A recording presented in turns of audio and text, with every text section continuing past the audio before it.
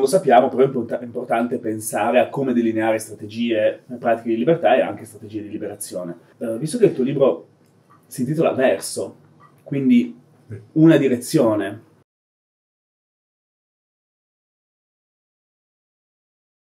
è, verso una forma di negazione, verso un non luogo, non solo un altrove, ma una, sembra quasi una negazione del luogo, una negazione del corpo in questo senso. Quale movimento indicheresti tu o ti potrebbe sembrare di intravedere ecco, verso queste pratiche di libertà e magari strategie di liberazione? Si prova a risponderti nel senso che il non corpo si va verso una smaterializzazione della, della corporalità. In che senso? Che abbiamo un corpo che è vero che è sempre stato in relazione con la tecnologia, noi siamo animali, sempre in relazione con la, con la tecnica, ovviamente come mediazione tra noi e, e l'ambiente esterno, insomma la natura.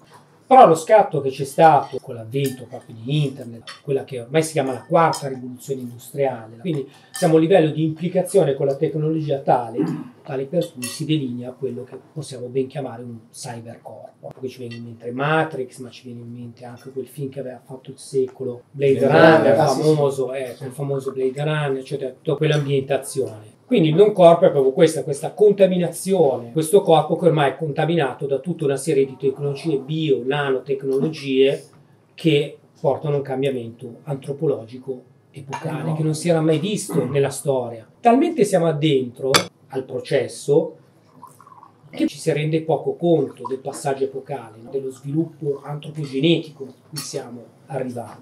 E questo non corpo è questa dimensione la dimensione ad esempio della realtà virtuale, cioè la traduzione dello schermo, quindi di, in forma algoritmica di quello che è la mia corporeità. Oppure indossando tutta una serie di protesi con cui noi siamo sempre più a contatto, riproduciamo e viviamo queste esperienze del mondo virtuale. Ambienti proprio ricreati artificialmente in cui uno si immerge e vive. Ovviamente siamo solo agli albori di questa dimensione questo allenamento, questo incontro, questa dialettica, questa commistione continua, incessante, sempre più marcata, da qui in avanti produrrà inevitabilmente una totale smaterializzazione del corpo. Quindi sono poi scenari di ogni tipo che si possono delineare, però questa è la, la tendenza dominante. Siamo al di là di qualsiasi giudizio, un'analisi, una riflessione filosofica che parte da, da dei dati, dell'osservazione, soprattutto nel corpo della, degli adolescenti con chi io e altri di voi che insegnano abbiamo a che fare. Poi c'è un'altra dimensione, quella della virtualità, con cui entrano sempre più in contatto, ma c'è anche quello delle nuove forme di relazione attraverso i social, quello che io chiamerei anti-social network, nel senso che i social non hanno, a mio avviso, praticamente nulla, ma creano una infinità di, come possiamo chiamarle, identità di connessione che purtroppo danno luogo a forme veramente di dissociazione negativo, ecco, disso- io direi dissociazione disumanizzante, in questo senso qua. Perché?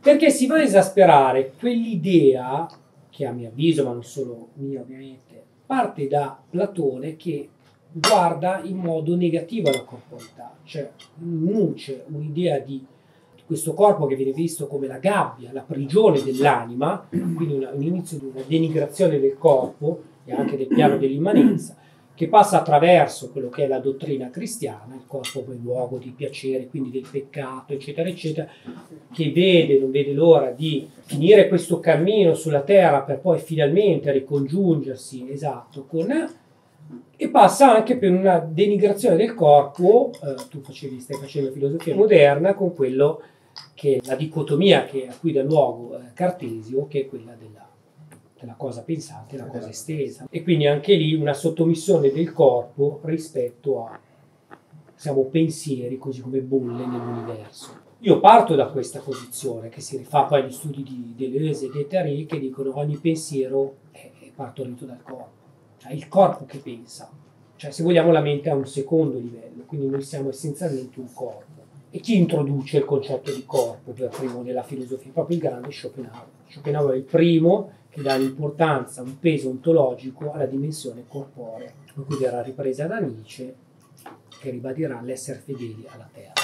Tutto questo discorso per dire un po' per filosofiggiare, perché è bello, perché è un piacere in sé, un po' per rimarcare quelle che sono le matrici culturali un po' della storia della filosofia che ci conducono alla, alla critica della, della corporità. Cosa succede adesso? Due filoni si impongono, che uno è l'idea del postumano. Allora la filosofia del postumano è molto interessante, perché la filosofia del postumano ci dice come guardiamo a questa nuova dimensione, questa commistione, a questa smaterializzazione progressiva del corpo.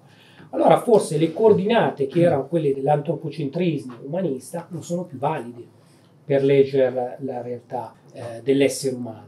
Ma, come possiamo dire, l'oggetto proprio di riflessione non è tanto il corpo dell'essere umano, no? la, il, l'essere umano in carne ed ossa, ma è proprio la lettura, cioè le, le coordinate culturali paradigmatiche a cui si, come si è guardato sino ad oggi all'essere umano. Quindi è interessante perché getta un nuovo sguardo sul presente, un occhio rivolto al futuro, ma getta uno sguardo critico sul passato. Qual è il nostro passato? Quello poi dei colonialisti, fondamentalmente, della cultura occidentale maschilista che si è imposta nei secoli. Invece la deriva, che io invece critico in negativo, transumanista, per chiudere questo discorso del corpo, è proprio quello, cioè l'idea, o se vogliamo l'ideologia di potenziare all'ennesima potenza il corpo tecnologico, per dire che cosa? Che il corpo è un qualcosa che si deve adeguare alla macchina. Cioè è un concetto obsoleto, è una struttura ormai obsoleta e bisogna per forza di cose adeguarsi al macchinico, no? alla nuova dimensione.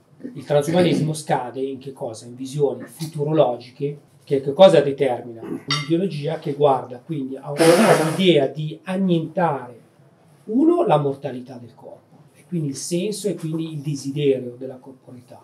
Due, di annullare e azzerare qualsiasi forma di malattia e di dolore, e quindi siamo, saremo impossibilitati di avere una traccia, quindi sulla nostra corporità una ferita della nostra esistenza e dall'altro lato di appunto di quasi arrivare a questo ideale di essere una stringa di informazioni persa nell'universo. A mio avviso questa modalità di vedere, di vivere la corporità invece collima molto bene con quello che è l'ideologia liberista, neoliberista, ovvero sia quello dello, dello sfruttamento in senso di un'efficienza esasperata e disasperante della, della, propria corporità e di punto di non ritorno a livello di eh, perfezionamento estetico e di, appunto, ripeto, smaterializzazione in virtù proprio di un, di un potenziamento illimitato della, della sola facoltà mentale.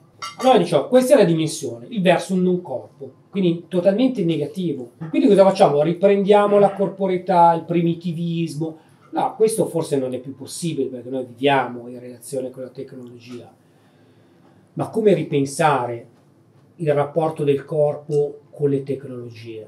Cioè, riproduciamo, ad esempio, nel rapporto uomo-macchina, la stessa dimensione alienante, la stessa re- relazione alienante eh, per cui riproduciamo i rapporti umani tra le persone, come sono quelli di, di sfruttamento dell'uomo sull'uomo, del capitalismo, del, delle nuove forme di capitalismo, o ripensiamo, partendo dal rapporto con le macchine, la nostra contaminazione col, col tecnologico, una dimensione diversa, no? più egualitaria, dove vi è una distribuzione del potere, e lì ritorno a Foucault, una distribuzione del potere tra uomo e macchina